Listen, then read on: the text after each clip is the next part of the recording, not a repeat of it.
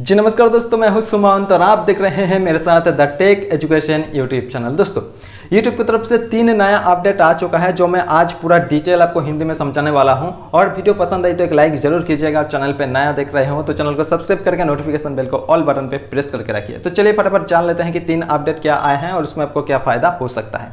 जो तीन नया अपडेट यूट्यूब की तरफ़ से आए हैं और उसमें जो फ़र्स्ट अपडेट है, वो है कि जिनके चैनल पर ज्वाइन बटन अवेलेबल है।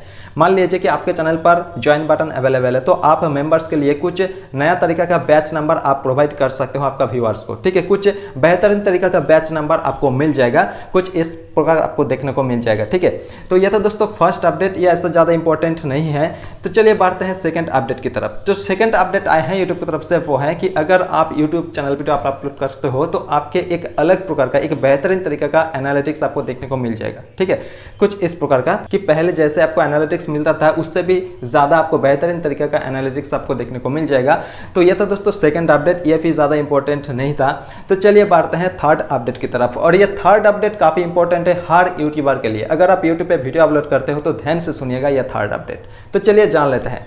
तो जैसे कि पहले देखिए आपको जो पुराने व्यूअर्स होते हैं। जैसे कि मान लीजिए कि आप चैनल पे जब चैनल आपने स्टार्ट किया और उस टाइम का जो व्यूअर्स होते हैं, उसी व्यूअर्स आपको फिर अभी भी आपका चैनल पे वीडियो देखते हैं। ठीक है? उसको कहते हैं पुराने व्यूअर्स और ये पुराने व्यूअर्स को रिटर्निंग व्यूअर्स कहते हैं। ठीक है?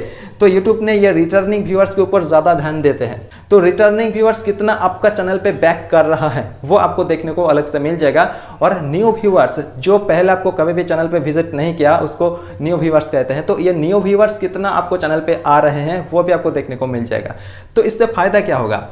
इससे फ़ायदा ये होते हैं कि जो पुराने व्यूवर्स अगर आपको चैनल पे देखते हैं वीडियो न्यू व्यूवर्स से भी ज़्यादा आपको रिटर्निंग व्यूवर्स मिलते हैं चैनल पे तो आपका चैनल बहुत तेज से ग्रो होगा, ठीक है? इतना ज़्यादा इंक्रीज करेगा आपका चैनल आप सोच नहीं सकते हैं। तो आपको देखने को मिल जाएगा कि रिटर्निंग व्यूअर्स कितना आते हैं और न्यू व्यूवर्स कितना आते हैं। मान लीजिए कि आपका न्यू व्यूवर्स ज़्यादा आते हैं, लेकिन रिटर्निंग व्यूवर्स बहुत ही कम, यानी जैसे पहले पुराने व्यूवर्स अभी और वीडियो आपको देखने को, देखने के लिए नहीं आते हैं।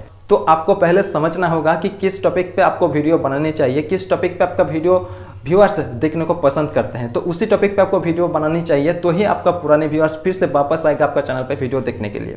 और रिटर्निंग व्यूअर्स जब आपका चैनल पे इंक्रीज होते जाएगा, तब आपका चैनल ग्रो करने में बहुत कम समय लगेगा। तो आप कैसे चेक करेंगे कि आपका रिटर्निंग व्यूअर्स कितना आ रहे हैं और न्यू व्यूअर्स कितना आ रहे हैं? बहुत ही सिंपल है। आप एनालिटिक्स ऑप्शन पर जाएँगे और उसमें ऑडियंस ऑप्शन आपको मिल जाएगा। तो ऑडियंस ऑप्शन पर क्लिक करते हैं, आपको रिटर्निंग व्यूअर्स न्यू व्यूअर्स आपको मिल जाएगा, ठीक है?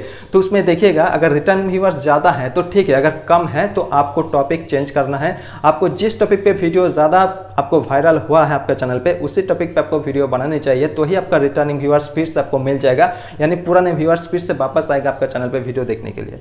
तो रिटर्निंग व्यूअर्स के ऊपर आपका ज़्यादा ध्यान देना चाहिए, जो यूट्यूब रिटर्निंग व्यूअर्स के ऊपर ज़्यादा ध्यान देते हैं। ठीक है? तो ये था दोस्तों थर्ड अपडेट और ये थर्ड अपडेट काफ़ी इंपॉर्टेंट था। मैं आशा करता हूँ कि आपको समझा पाया। अगर कोई दिक्कत आई तो चैट सेक्शन में लिखिएगा और वीडियो पसंद आई तो एक लाइक कीजिएगा और चैनल पर नया हो इस तरह लेटेस्ट वीडियो फिर आगे तक देखना चाहते हैं तो चैनल को सब्सक्राइब करें और नोटिफिकेशन बेल को ऑल बटन पर प्रेस करके रखिए। तो चलिए मिलता फिर अगले और एक नया वीडियो के साथ। तब तक आपका ख्याल रखिएगा। धन्यवाद।